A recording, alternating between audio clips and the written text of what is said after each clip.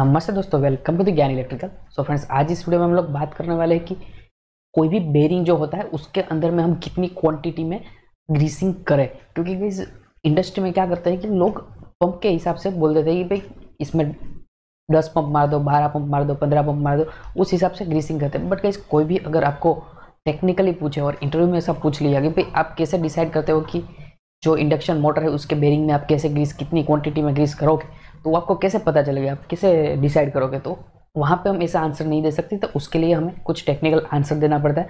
तो वो कैसे डिसाइड होता है, उसका कैलकुलेशन कैसे होता है, उसके बारे में हम लोग आज इस वीडियो में डिस्कस करेंगे। तो चलो स्टार्ट करते हैं वीडियो को।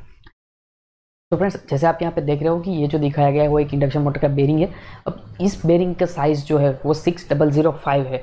तो गाइज़ ये जो सिक्स डबल ज़ीरो फाइव जो है, वो बेरिंग का कोड है। वो कोड पे से ही आप बेरिंग का जो पूरा डायमेंशन से वो निकाल सकते हो, वो और कैसे निकालना है अगर वो आपको जानना है तो मैं डिस्क्रिप्शन में एक लिंक दे दूँगा, वो वीडियो देख लोगे तो आपको पता चल जाएगा कि ये जो कोड है वो एक्चुअली में क्या इंडिकेट करते हैं, हर एक कोड का क्या मीनिंग है।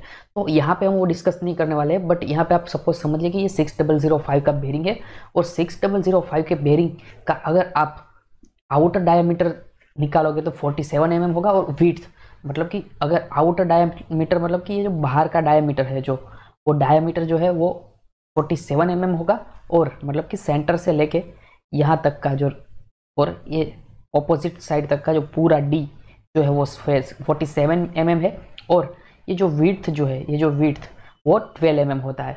तो वैसे अब हमें क्या करना है कि ये आउटर डायमीटर और विड्थ जो है वो हमें कोड पे से मिल जाएगा कि कौन सा बेरिंग का कोड है, उस पे से आप डायरेक्टली आउटर डायमीटर और विड्थ बेरिंग का निकल पाओगे।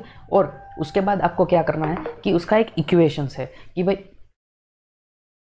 जैसा देखोगे कि greasing quantity in gram, greasing quantity is equal to क्या होता है कि जो आउटर डायमीटर जो आउटर डायमीटर है, वो diameter in M M multiply by उसका जो वीट है वो कर दोगे into zero point zero zero five कर दोगे तो क्या आ जाएगा कि कितना क्वांटिटी का ग्रीस करना है, कितना क्वांटिटी ग्रीसिंग करना है, कितने ग्राम ग्रीस करना है इंडक्शन मोटर में, वो आपको डायरेक्टली पता चल जाएगा।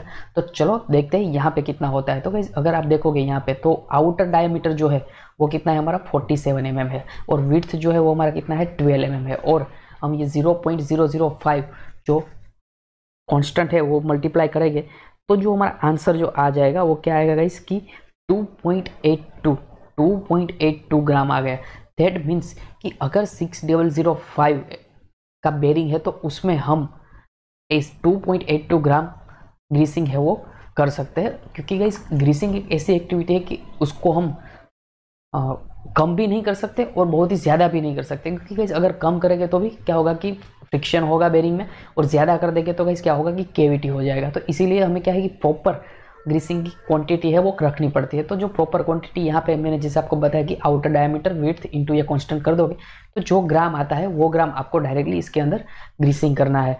तो गैस आप बोलोगे कि जो ग्रीसिंग गन होती है, उसमें कैसे पता चलेगा? तो ग्रीसिंग गन में भी गैस अगर आप देखोगे तो ऐसा एक जो कितनी क्वांटिटी ग्रीस गई है, वो आप यहाँ पे इंडिकेट कर जाएगा, ऐसा एक मीटर भी आता है। और काफ़ी सारी कंपनीज़ का आता है।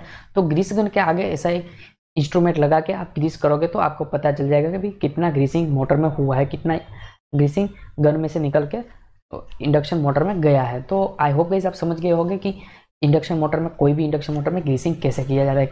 और काफ़ी बार गैस क्या होता है कि काफ़ी इंडक्शन मोटर जैसे कि हाई रेटिंग की मोटर होती है तो उसमें कितना ग्रीसिंग करना है, वो अमाउंट लिखा भी होता है बट गैस क्या होता है, काफ़ी सारी मोटर्स में नहीं भी लिखा होता है तो उसमें हमें इस हिसाब से कैलकुलेट करके कर सकते हैं, ऐसा आंसर इंटरव्यूअर को दे सकते हैं। तो गैस आई होप कि ये इन्फॉर्मेशन जो है वो आपको पास पहली बार पहुँच रही है। अगर आप पहली बार ये इन्फॉर्मेशन आपके पास पहुँच रही है तो प्लीज़ लाइक कर दीजिए ये वीडियो को, क्योंकि उससे हमें पता चलेगा कि भाई आपके पास ये इन्फॉर्मेशन पहली बार पहुँची और हमें ऐसे नया नया कंटेंट लाने में हमें और मोटिवेट करेगी। थैंक यू गाइज़ और अभी तक आपने हमारा यूट्यूब चैनल सब्सक्राइब नहीं किया सब्सक्राइब कर लीजिए। ऐसे इंटरेस्टिंग टॉपिक हम आपके लिए लाते रहेंगे। थैंक यू गाइस मिलते हैं नेक्स्ट वीडियो में.